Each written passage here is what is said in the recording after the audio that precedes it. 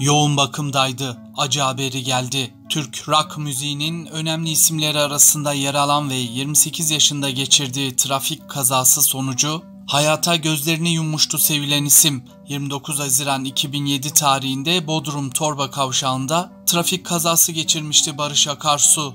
5 günlük yoğun bakımın ardından 4 Temmuz 2007'de hastanede yaşamını yitirmişti. Henüz 28 yaşında hayatını kaybedip sanat dünyasını ve sevenlerini yasa boğmuştu ünlü şarkıcı.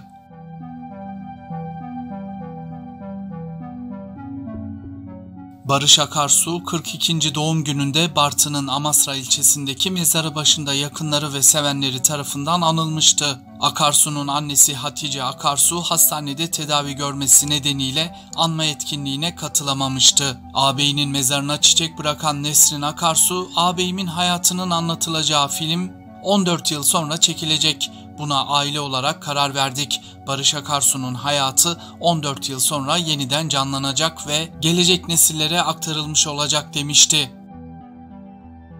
2007 yılında Muğla'nın Bodrum ilçesinde geçirdiği trafik kazası sonucu hayatını kaybeden şarkıcı Barış Akarsu'nun annesi Hatice Akarsu 15 gündür yoğun bakımda verdiği yaşam mücadelesini kaybetti. Ses sanatçısı Onur Akay'ın haberine göre pankreas kanseri teşhisi konulan ve teşhisten 4 ay sonra ameliyat olan Hatice Akarsu hastanede yoğun bakım ünitesinde tedavi görmeye başlamıştı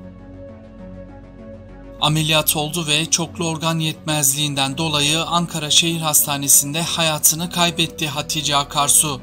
Barış Akarsu'nun kardeşi Nesrin Akarsu 3 gün önce Instagram'da bir paylaşım yaparak annesi Hatice Akarsu için sevenlerinden dua istemişti. Uzun süredir hastanedeyiz şimdi yoğun bakımda. Hatice annenizin dualarınıza ihtiyacı var bizi seven, abimi seven herkesten. Duanın gücüne inanarak annemin sağlığı için dua istiyorum demişti.